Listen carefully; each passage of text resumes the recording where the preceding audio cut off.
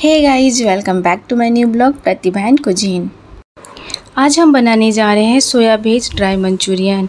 बिल्कुल ही आसान तरीके से आप घर में इसे बना सकते हैं और ये बहुत ही जल्दी बन जाती है। तो हमें सबसे पहले चाहिए पत्ता गोभी मतलब कैबेज यहाँ मैंने छोटे साइज़ का हाफ़ पत्ता गोभी लिया है और इसे बारीक कट कर लिया है और मैंने ग्रेट किया हुआ दो गाजर लिया है। एक बड़ा साइज़ का प्याज लिया है, जिसे मैंने बारीक कट कर लिया है। वन टेबल स्पून चॉप किया हुआ अदरक लिया है। चार लहसुन की कलियाँ चॉप की हुई ली है और दो हरी मिर्च ली है, जिसको मैंने लंबे साइज़ में कट कर लिया है और थोड़ा सा बारीक कटा हुआ शिमला मिर्च लिया है।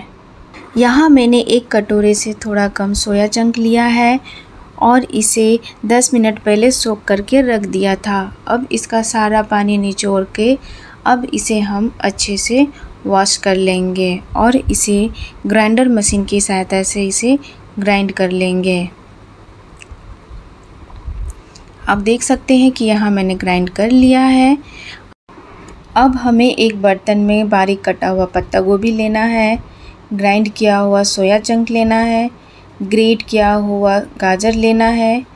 और इन सारी चीज़ों को हम मिला लेंगे। आप चाहे तो और सब्ज़ियाँ इसमें मिक्स कर सकते हैं। और यहाँ फ़ोर टेबल स्पून हम आरा रोट डालेंगे फ़ोर टेबल स्पून हम मैदा डालेंगे और यहाँ पे मैंने थोड़ा सा नमक डाला है। इन सारे चीज़ों को हम अच्छे से मिला लेंगे और इसकी छोटे छोटे हम बॉल्स बना लेंगे। आप इसी तरह से इसे अच्छे से छोटे छोटे अपने साइज़ के हिसाब से आप इसका बॉल्स तैयार कर लीजिए।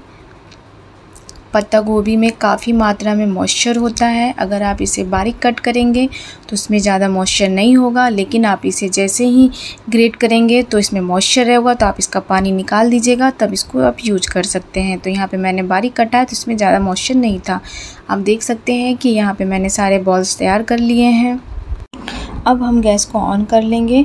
और एक फ्राई पैन लेंगे और इसमें मैंने एक कप के करीब रिफ़ाइन ऑयल डाला है और इसे गर्म करेंगे। गर्म हो जाने के बाद हम इसमें सारे बॉल्स को थोड़े थोड़े करके फ्राई करेंगे। हमें एक ही बार में सारे बॉल्स को फ्राई नहीं करना है और हमेशा हम मीडियम टू लो फ्लेम में इसे फ्राई करेंगे। हमें हाई फ्लेम में फ्राई नहीं करना है और इसी तरह पलट पलट कर गोल्डन ब्राउन होने तक हम इसे फ्राई करेंगे। आप देख सकते हैं कि ये ब्राउन हो चुका है। अब हम इसे प्लेट में निकाल लेंगे। ये मैंने सारे बॉल्स फ्राई कर लिए हैं।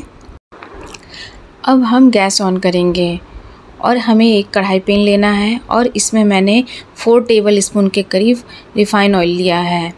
अब हम यहाँ पे ग्रेट किया हुआ अदरक डालेंगे। उसके बाद चॉप किया हुआ यहाँ पे लहसुन डालेंगे। बारीक कटा हुआ इसमें प्याज डालेंगे। और इन सारी चीज़ों को मिला के फ्राई कर लेंगे। आप इसे इसी तरह से थोड़ी देर के लिए इसे फ्राई कर लीजिएगा। अब इसमें हम ग्रीन चिल्ली डालेंगे। इसे भी मैंने बारीक कट कर लिया था और यहाँ में थोड़ा सा शिमला मिर्च डालेंगे और इन सारी चीज़ों को मिला के हम फ्राई कर लेंगे। अब देख सकते हैं इसमें हल्का ब्राउन हो चुका है। अब हम इसमें एक कप के करीब पानी डालेंगे। और इन्हें सारे मिला लेंगे। अब इसमें हम वन टेबल स्पून से थोड़ा कम नमक डालेंगे, ये कूटी हुई काली मिर्च डालेंगे। आप नमक अपने स्वाद अनुसार इसमें डालिएगा। यहाँ मैंने दो बड़े चम्मच टमाटो सॉस लिया है। आप चाहे तो ग्रीन चिल्ली सॉस भी डाल सकते हैं, बट मैं यहाँ नहीं डाल रही हूँ। और इसे ऐसे ही आप थोड़ा मिला लीजिए। अब हम इसमें one tablespoon soya sauce डालेंगे। इसे भी थोड़ा मिला लेंगे। और यहाँ पे मैंने वन टेबल स्पून विनीगर डाला है। इसे भी मिला लेंगे।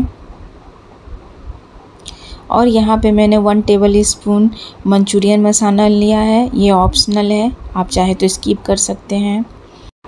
ग्रेवी की थिकनेस के लिए यहाँ मैंने वन टेबल स्पून के करीब आरा रोड एज कॉर्नफ्लोर लिया है। इसमें पानी डाल के इसका घोल बना लेंगे और इसमें हम डाल देंगे।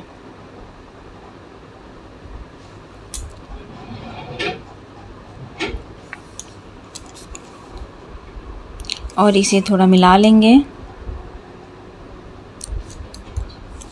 अब हम फ्राई किया हुआ सारे बॉल्स को इसमें डाल देंगे और इन सारे चीज़ों को हम मिला लेंगे। मीडियम फ्लेम में ही हमें इसे दो मिनट तक थोड़ा फ्राई करना है।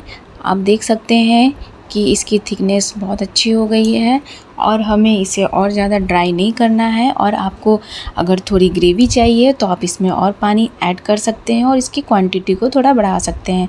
आप यहाँ देख सकते हैं कि अंदर तक इसकी ग्रेवी चली गई और ये थोड़ा सॉफ्ट हो गया है।